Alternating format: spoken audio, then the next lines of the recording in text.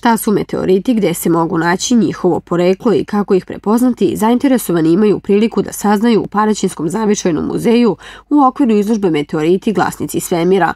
Ova izložba deo je Prirodnjačkog muzeja iz Beograda, a autor izložbe je Aleksandar Luković. Mi smo već imali jednu saradnju sa izložbom Minerali Trepiče i tad je ova izložba bila u pripremi i ovaj, eto, iskoristili smo priliku da ga ponovo pozovemo sa jednom jako atraktivnom i interesantnom izložbom. Uh, obuhvatit će i uh, Dan planete Zemlja 22. kada je planirana organizovana poseta i planetarijumu i, ovoj izložbi svih škola. U okviru izložbe posetioci imaju priliku da vide i neke od naših najpoznatijih meteorita, ali i meteorite svetskih poznatih lokacija. Ono u sebi baštini ne veliki broj eksponata, ali postoje par zaista vrednih eksponata koji su sa područja na, naše zemlje, to su Sokobanjski, Dimitrovgradski i Jelički meteorit i oni su zaista, da kažemo, ekskluzivni s obzirom da smo mi ostale meteorite dobili razmenom njih, znači da su u nekim širim okvirima, znači neki poznati svetski muzeji su hteli deo tog meteorita i samim tim predstavlja, a mi imamo celokupnu masu tog meteorita, znači, da kažem, prilično su vredni za našu zbirku.